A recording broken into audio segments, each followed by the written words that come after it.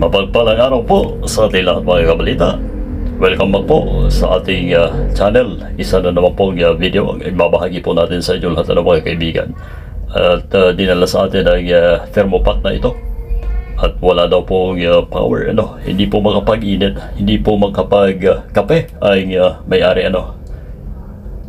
So, uh, mabibilang po natin, ano, kung gaano kadalas magka-problema ang uh, piyesa ng uh, unit na ito mga kaibigan ano. Dahil meron na po tayong mga pwede na guide dyan sa ating mga naunang uh, vlog po natin ano mga kaibigan. Ang uh, first na step na gagawin po ay i-check po natin ang ating uh, AC wire ano kung uh, may uh, continuity po ba tayo. So this time ay good po ang uh, cordon po natin mga kaibigan. At susunod po natin doon kung saan ay madalas makita ang problema ng ganitong unit ano mga kaibigan. Open na po natin. Kung tama po ay uh, hinala natin ano ay uh, malalaman po natin once na ito ay uh, tinester po natin ano mga kaibigan. Alright, ito na po. once na yan ay uh, di pumalo ano yung uh, uh, tester po natin. Ibig sabihin ay wala pong contact ang ating switch ano? So hindi po talaga magkakaroon ng power ang ating unit na ito mga kaibigan.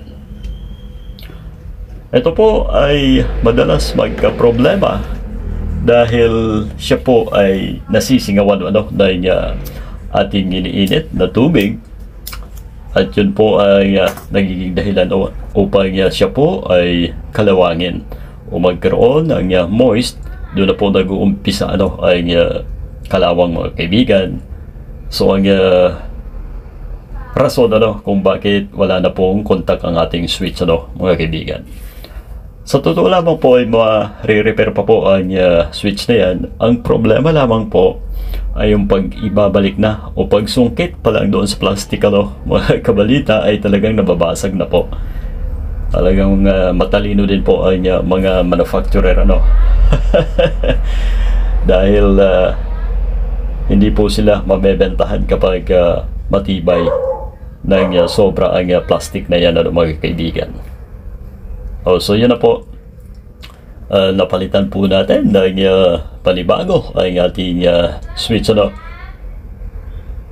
Ito-test na po natin. Mabilis lamang po ilagay ang uh, switch cap na yan ano, nakasabit or nakaklip. Ayun.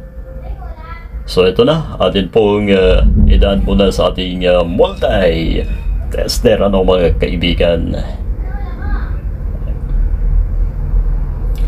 Pagka yan ay pumalo, ibig sabihin ano doon sa mga bago nating kaibigan o nais matuto. Ano, pagka pumalo po yan ay may contact na po. Ibig sabihin ay good na. Alright.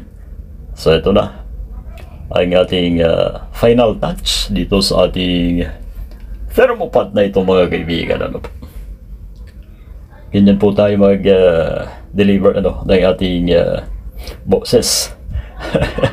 may panggulat lagi dahil sanay po tayo no, sa pang-umagang uh, programa noong tayo ay nagraradyo pa mga kaibigan. Hindi po pwede na uh, walang energy ang ating uh, boses ano. so, ayan na po. Scroll lang po natin at test ang ating uh, kettle na ito mga kaibigan. Alright, ito na. Ayun. Also iba. Meron na po ang ating uh, initan ng tubig na ito. Makakapag-init na po ang uh, may-ari. Ano mga kaibigan? Yun lamang po ang ating pinalitan. Uh, simpleng-simple. Ano? Kung may pamalit lamang po tayo, kahit kayo po ay kaya nyo pong gawin yan. Ano? Wala naman pong polarity. Ang switch na yan mga kaibigan. Magkabaliktaran. Pwede po dahil yan po ay isang linya lamang. Alright papakita ko po sa inyo no sinubukan po natin na linisin nalinis naman at uh, ayan ang uh, problema nga po pagka sinungkit ang uh, plastic na yan ay talagang nababasag na po ng mga kaibigan alright So, maraming salamat po sa inyo lahat, mga kabalita, sa patuloy po ninyong pagtangkilik ano, sa ating mga video. Huwag po natin kalimutan, i-like, and share po ang ating mga video. At kung medyo pahirapan pa po, ay uh, pag-follow, pag-subscribe, ay uh, palike na lamang po.